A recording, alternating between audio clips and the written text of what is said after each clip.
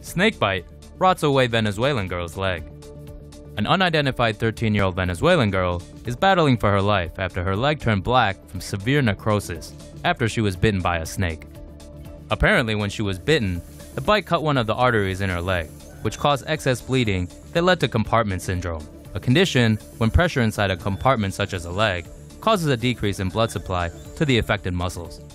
She was first treated using local remedies, which probably only included antibiotics, and most likely wasn't treated for the snake venom, which can cause nerve paralysis and blood clots.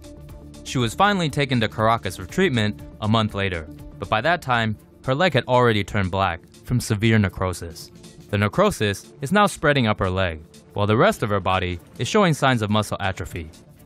The necrosis has also led to a condition called rhabdomyolysis, where muscle tissue starts to die throughout the body. Rhabdomyolysis can lead to kidney failure and death if untreated.